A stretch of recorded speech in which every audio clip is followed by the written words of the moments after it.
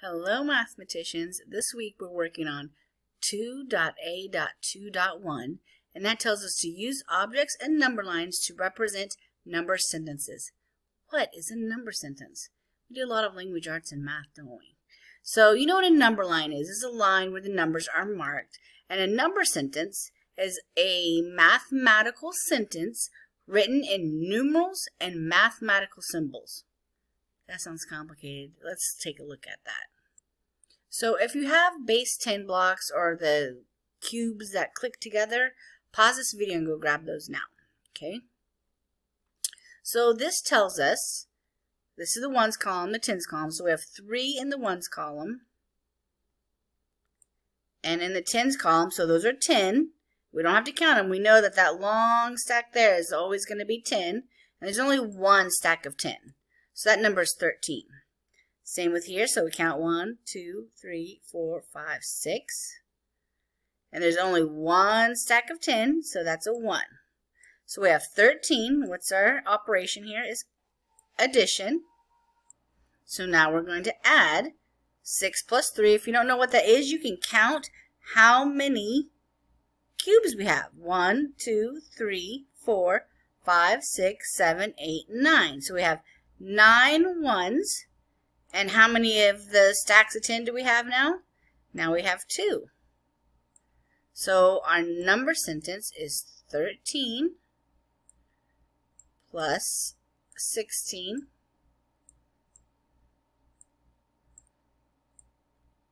is 29. Or we can write it like this, like a sentence. 13 plus 16 equals 29. Okay? We can do the same thing when we're subtracting. So we have 18. So we start out with 8 singles, 8 ones. 1, 2, 4, 5, 6, 7, 8. And then we have 1 to make 18, so we have 1 and 8. And then 7, so we don't have any in the ones column, so it's blank. And then we have 7 here. Okay, see that? So then we have 8 minus 7, and that leaves us with 1 in the ones column, and we still have one of these left. So that's 1. So 18 minus 7 is 11. It's very hard to write on the computer. I always tell you guys that. Okay. You can also do this exact same thing on a number line. So it says show 28 plus 8. So you start at 28 and then you move it up 8. So 1, 2, 3, 4, 5, 6, 7, 8. So 28 plus 8 equals, what number is that? 36. So you just count forward 8 numbers because we're adding 8. So our number sentence is 28 plus 8 equals 36. Okay, you can do the same thing with subtraction. So if it's 38 minus 9, you start at 38. You start at this number here on the left. And then now we're going to go backwards. We're going to the left because it's a minus. So we go 1, 2, 3, 4, 5, 6, 7, 8, 9, and we land on the number 29. So our number sentence is 38 minus 9 equals 29. Okay, now you can use base 10 blocks to help you with these if you want, or you can just add these and subtract number 3. So pause the video and add 23 plus 7, 17 plus 9, and then subtract 28 minus 6. And then turn the video back on to check your work. Pause the video now. Okay, so check your work. 23 plus 7, 7 plus 3 is 10. So you put the 0 down, you carry the 1, and then you have 3 in the tens column. So we have 30. Okay, 17 plus 9 is 26. You can see my work here.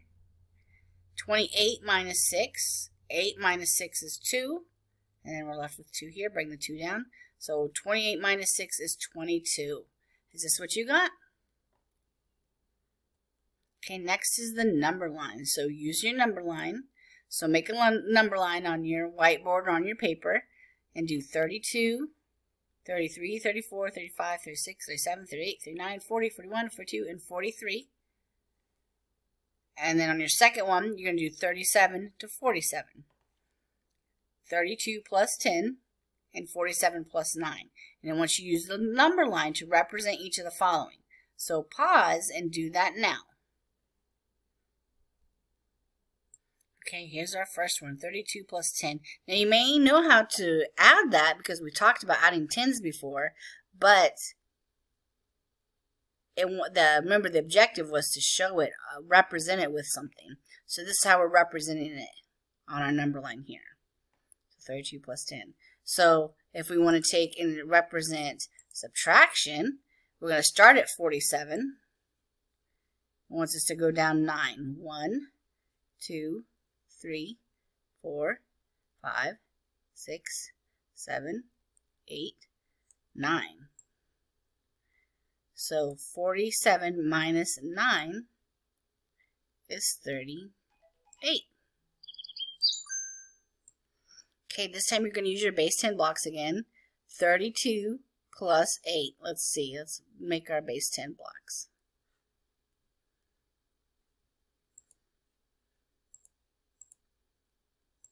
Can't get my pencil up.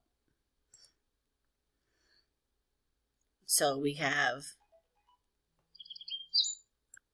so we have eight single ones, and you can draw these on if you don't have them. One, two, three, four, five, six, seven, eight. So that represents this number. And we have the 32. So we have one, two, three. That one has two singles. Okay.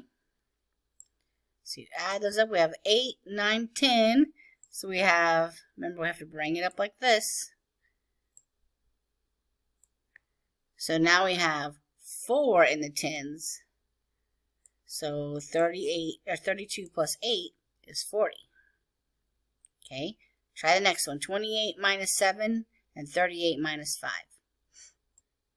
Okay, so when we're subtracting, we're going to take away all these 7 because it's minus 7.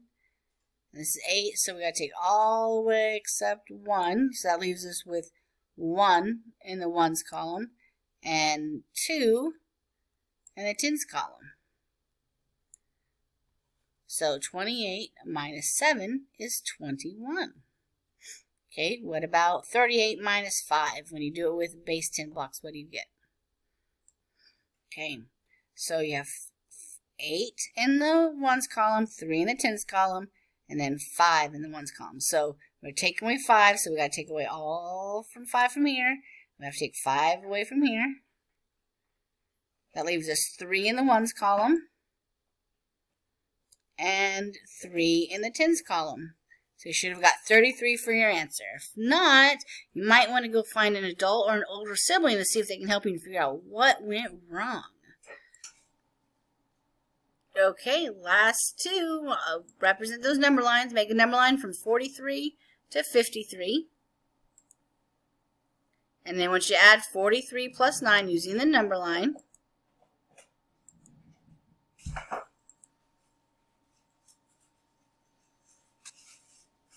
So pause your computer and figure this out. Draw your number line and figure this out on the number line. Even if you know how to do it, you need to represent it on the number line.